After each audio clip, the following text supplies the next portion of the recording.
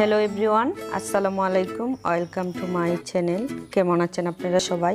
আশা করি ভালো আছেন, আমরাও ভালো আছি।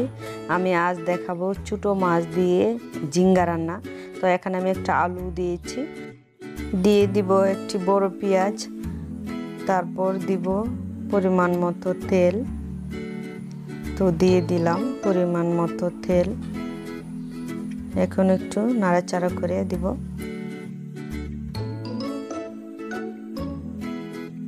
পেঁয়াজ লালচি কালার হয়ে গেলে এখানে আমি মশলা অ্যাড করব। তো এই পর্যায়ে আমি দিয়ে দিচ্ছি মশলা। এখানে এক চামচ মরিচের গুঁড়া, হাফ চামচ হলুদ, এক চামচ লবণ, এক চামচ পেঁয়াজ, এক চামচ জিরা বাটা। তো দিয়ে দিব। একটু পানি দিয়ে আমি দিয়ে দিচ্ছি।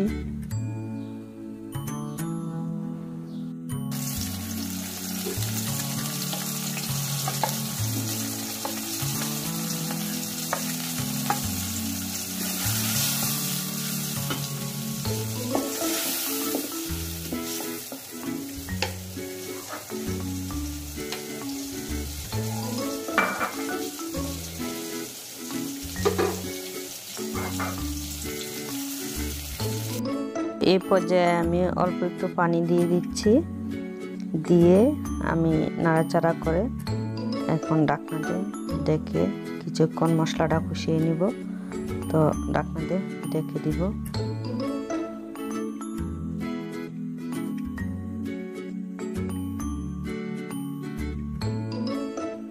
তো এই পর্যায়ে আমি মশলাটা কষানো হয়ে গেলে এখানে আমি দিয়ে দিব মাছ। তো আমার মশলা কষানো হয়ে গেছে। তো এই পর্যায়ে আমি দিয়ে দিব মাছ। তো দিয়ে দিলাম মাছ। তো মাছ দিয়ে আমি মশলার সাথে মিশিয়ে ভালো করে মিশিয়ে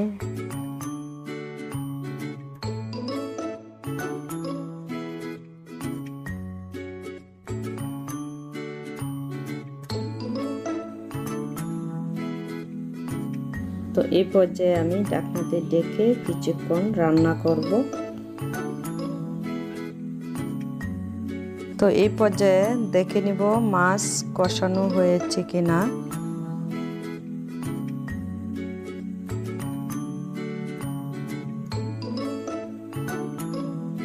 মাছ কষানো হয়ে গেছে, এ পর্যায়ে আমি উঠিয়ে নিব। তো এইভাবে আমি উঠিয়ে নিচ্ছি, উঠিয়ে নিয়ে তারপর এর ভিতরে আমি দিয়ে দিব সবজি। তো সবজি দিয়ে আমি ভালো করে মিশিয়ে কিছুক্ষণ রান্না করব।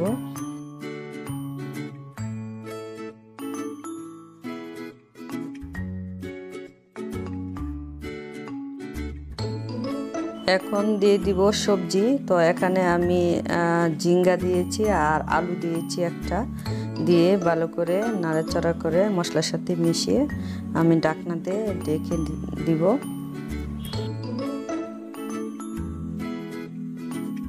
তো জিঙ্গা রান্না করতে বেশি সময় লাগে না, তো তাড়াতাড়ি হয়ে যায়। তো এই পর্যায়ে আমার সবজি কষানো হয়ে গেছে। তো আমি একটু নাড়াচাড়া করে আবারও মিশিয়ে দিচ্ছি। তো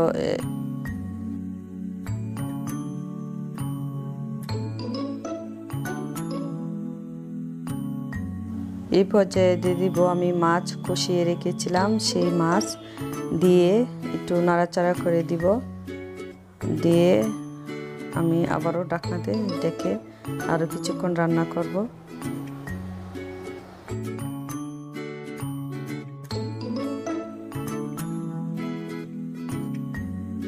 তো এখন আমি দিয়ে দিব চার পাঁচটার মতো কাঁচামরিচ।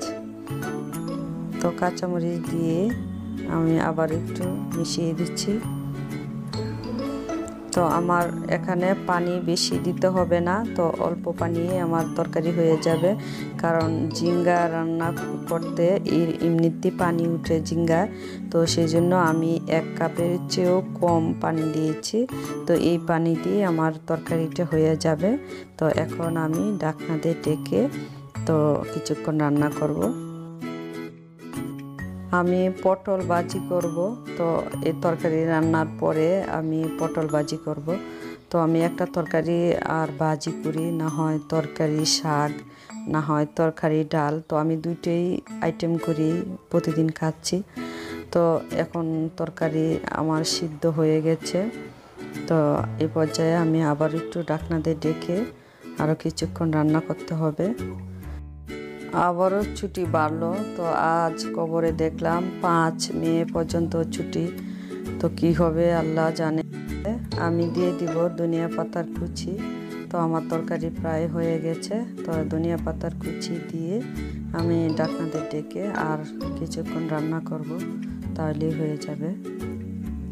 তরকারির শেষের দিকে আমি চলে আসছি। তো এখানে আমি একটা মাছের মশলা এক চামচ মশলা দিয়ে দিব। তো তরকারি যখন প্রায় হয়ে যায়, এই পর্যায়ে এক চামচ মশলা দিয়ে দিলে তরকারিটা খেতে কিন্তু খুবই মজাদার হয়। তো দিয়ে দিলাম আমি এক চামচের মতো দিয়ে ডাকনাতে ডেকে অল্প কিছুক্ষণ রান্না করলেই তরকারিটা হয়ে যাবে। দেশের পরিস্থিতি খুবই খারাপ। প্রতিদিনই মানুষ মারা যাচ্ছে আর আক্রান্ত হচ্ছে অনেক লোক। আল্লাহ জানে কী হতে চলেছে বাংলাদেশে। তো হয়ে গেল আমার ছোটো মাছ দিয়ে জিঙ্গা ও আলু রান্না। তো এখন আমি একটা বাজি রান্না করব। তো আমি পটল বাজি করছি। আমার ঘরে পটল আর ডাটা ছিল। তো পটল ও ডাটা দিয়ে আমি বাজি করছি। তো এখানে আমি একটি পেঁয়াজ দিয়েছি। তো দিয়ে আমি পটল ও ডাটা দিয়ে বাজি করছি। তো এইভাবে দিয়ে নাড়াচাড়া করে বাজি করতে খুবই সহজ। তো বাজি খেতে কিন্তু ভালো লাগে। তো এখন একটু নাড়াচাড়া করে আমি এখানে এক চামচের মতো হলুদ দিয়ে দিব আর এক চামচের মতো লবণ দিব। দিয়ে আমি ডাকনাতে ডেকে রান্না করব। আমি এখানে দিয়ে দিচ্ছি এক চামচ হলুদের গুঁড়া আর এক চামচ লবণ দিব দিয়ে নাড়াচাড়া করে আমি ডাকনাতে ডেকে রান্না করব। তো দিন দিন দেশের পরিস্থিতি আরও খারাপ হচ্ছে, তো যে অবস্থান সৃষ্টি হচ্ছে তো বাংলাদেশের অবস্থান এতটা খারাপ হবে কখনো ভাবিনি। দিন দিন, প্রতিদিনই মানুষ মারা যাচ্ছে, প্রতিদিনই অনেক লোক আক্রান্ত হচ্ছে। তো কি হতে চলেছে বাংলাদেশে, আল্লাহ জানে। তো এই পর্যায়ে আমার বাজি প্রায় হয়ে গেছে। তো আর একটু নাড়াচাড়া করে দিচ্ছি। তো আর একটু হবে তাহলে কিন্তু হয়ে যাবে। তো বাজি কিন্তু খুব তাড়াতাড়ি সহজে হয়ে যায়। তো নাড়াচাড়া করে দিচ্ছি। তো দিয়ে আমি ডাকনা দিয়ে আর একটু রান্না করব, তাহলে কিন্তু বাজিটা হয়ে যাবে। তো হয়ে গেল আমার পটল বাজি। তো আমি এখানে দুইটা পটল দিয়েছি আর একটা ডাটা দিয়েছি। তো ঘরে ছিল একটা ডাটা সেই জন্য ডাটাটা দিয়েছি। বাজিটি হয়ে গেছে।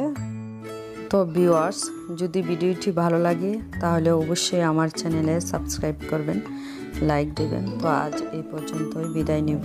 তো যাওয়ার শেষে আবারও বলছি যে আপনারা সচেতন হন, ঘরে থাকুন, পরিষ্কার পরিচ্ছন্নতা থাকুন।